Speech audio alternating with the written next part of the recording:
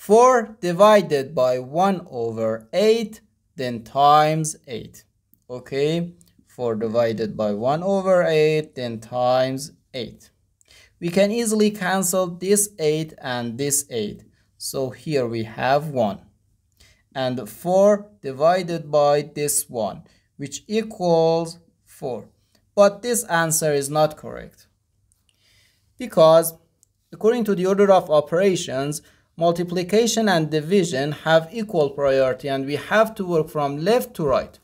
So first we have to do this division, not this multiplication.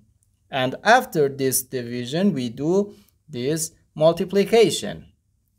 Okay, so first 4 divided by 1 over 8. According to the KCF rule, K stands for keep, C stands for change, and F stands for flip. Keep the first fraction, change division to multiplication, and flip the second fraction. We can write 4 times 8, and again here we have times 8. No, we have two multiplications.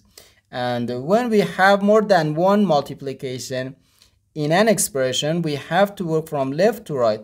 So first this multiplication, 4 times 8 gives us 32.